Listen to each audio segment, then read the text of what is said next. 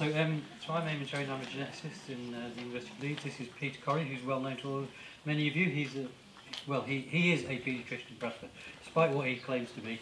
He's got a bus pass and everything, but he's not really a pensioner. And uh, we've known each other for a long time, and uh, we used to get on. so, um, and Peter's had a big interest in genetic disease in Bradford for, since before I arrived here. Um, so we wanted to tell you some of the things that we've, um, we're interested in um, disease-causing variation um, in, in the Born in Bradford cohort. We've, and uh, we've got, I think, quite a nice story to tell. So Peter's got the, Peter gets to kick off. Right. Well, John Wright this morning was talking about young budding scientists, so I think you'll notice I'm not a young budding scientist. Uh, but the fact that you've got pensioners here at this conference maybe illustrates the excitement of it. Uh, John wanted to bring out the excitement of doing research in children in Bradford, and some of us can't let it go.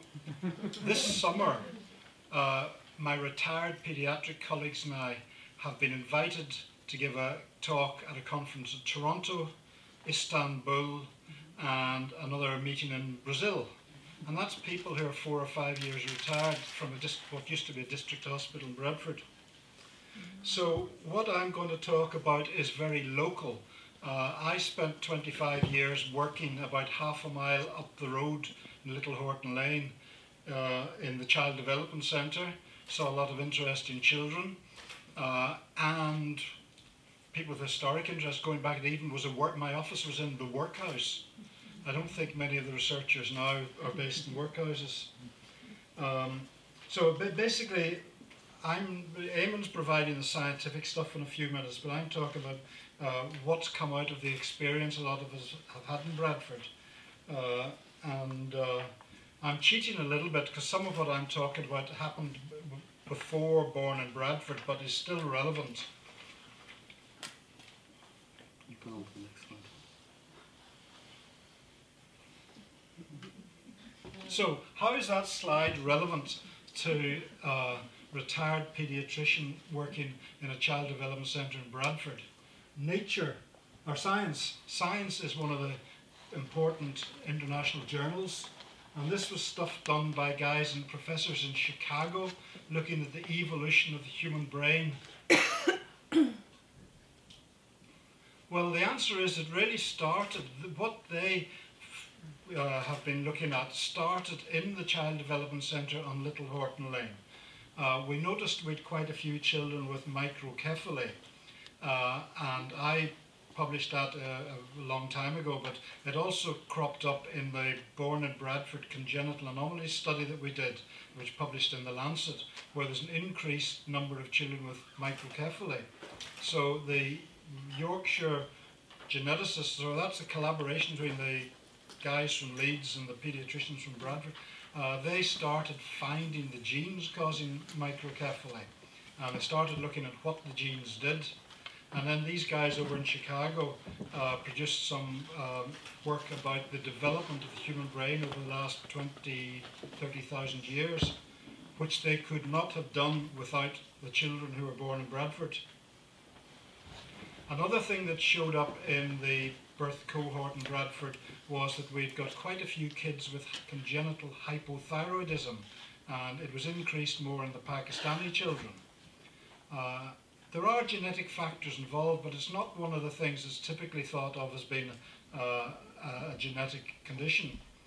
In the UK, it is important, but the uh, the heel prick test that babies have when they're a year old means that they're all diagnosed pretty quickly. The cheap treatment for it is lifelong, but it is cheap. So those kids uh, grew up to be okay. But I was at a meeting with a, a paediatrician from uh, Lahore in Pakistan, and they don't have universal screening there. Uh, some of the university hospitals, some of the private hospitals will provide it, but the majority of children who are born in public hospitals or who are born at home, and that's a significant proportion in Pakistan, they don't have this test.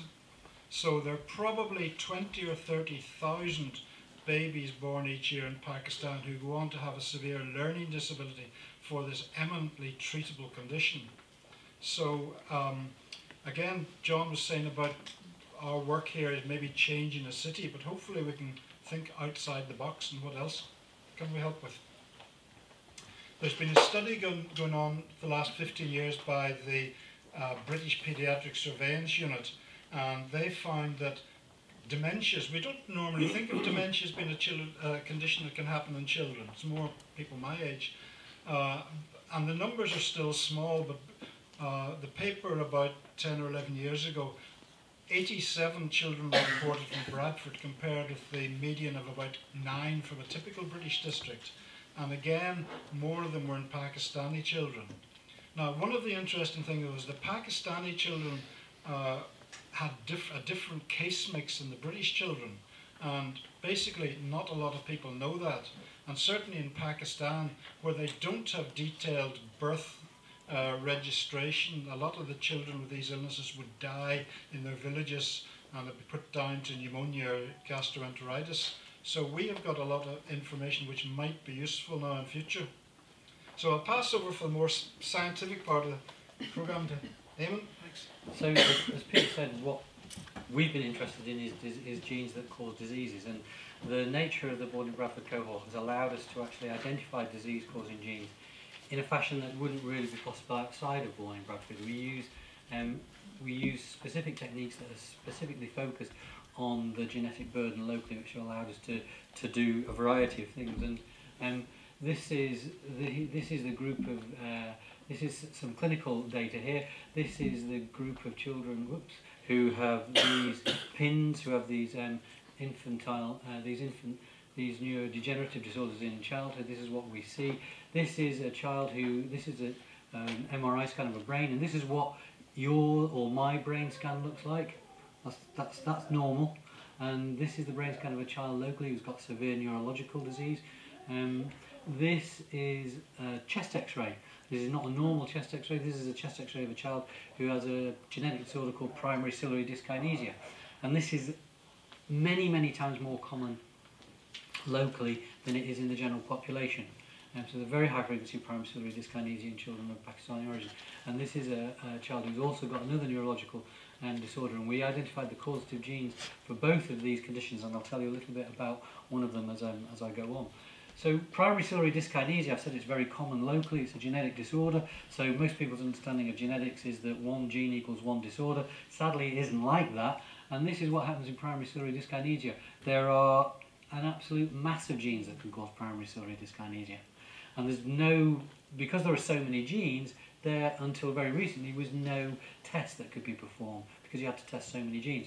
But this is the results of analysis that from the testing program that we developed in Leeds to address this problem that allows us to look at 22 genes all at once in these children with primary ciliary dyskinesia. These, however, only, only identify mutations, gene faults in about 60 to 70% of kids with PCD. So there are more PCD genes out there and we were able to, we've been able to identify new PCD genes in single cases from the from the Born in Bradford cohort because we've been able to focus very specifically on the cohort. So we've been able to identify mutations in this gene called DNAH5 um, and, and this was with one child. This is another example here is with one child. This is looking at what David was talking about, homozygosity, where you inherit both chromosomes from a common ancestor. And here is a region of the genome which has been inherited by an affected child. He's got two copies of the dodgy gene from his parents. Here is his unaffected sibling who isn't homozygous across this region. And in the middle of this region there's a gene called CCDC151. Don't need to know anything more about that. We identified a gene fault and with colleagues from Germany we published this as another novel cause of primary ciliary dyskinesia in this population. And this is purely simply in the Bradford area. The last child that I showed you um, with the very uh, with the very dodgy brain and um, was a member of this family here. And this is really important. The only reason that we've been able to do these kind of analyses is because the families locally are interested, they want to know what's going on in their families and they're prepared to cooperate and collaborate with us and provide us with samples, not only from their affected children, it's very easy to go along and ask a parent to give a blood sample from a child who's got a disorder. It's much more difficult for that parent to say yes when you want samples from an unaffected child. But because the families are, are prepared to help us with this and, and are, are keen, we get samples from unaffected children and this enabled us to identify mutations in this gene which is a, a calcium transporter in mitochondria. So it was the first time this had been demonstrated in humans, um, and we performed a big collaboration which enabled us to identify mutations in other families throughout uh, Europe with, with uh, variation in this gene. So we've got a unique disease profile locally that allows us to perform this in-depth investigation. It's ethnically diverse, which is extremely important. It's enabled to identify these novel genes, and that helps families because we very quickly allow us to put, allow us to um, establish diagnostic tests in the local diagnostic laboratory. When you've only got one child with a mutation in the gene, it's hard to know what to say about it. Once you've identified 50 children with mutations in that gene, then you begin, can begin to go back to new cases and say, well, here's what's happened to those other 50. And that's extremely valuable. And it's given us tremendous biological insights. The bio biological insights that we've, that we've achieved from these studies have, have been really, really positive. Um, we're increasing public health awareness, allocation of resources, as I say, primary ciliary is much more common locally than cystic fibrosis. It's very likely that there's a similar disease burden in the countries of origin um, that, that, we see locally. And of course, it's, uh, it can be applied across other ethnicities, where, such as the Roma and other European migrants that we are seeing locally, where we also see these extended families with these disorders that's all I've got to say. I'd just like to thank John for letting us talk today, but very importantly, I want to acknowledge the families without whose help, and it really has been their help, we would never, we would never have been able to perform any of these studies. Thanks very much.